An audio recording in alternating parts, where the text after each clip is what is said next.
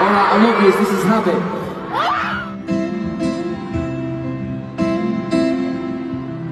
I love you too.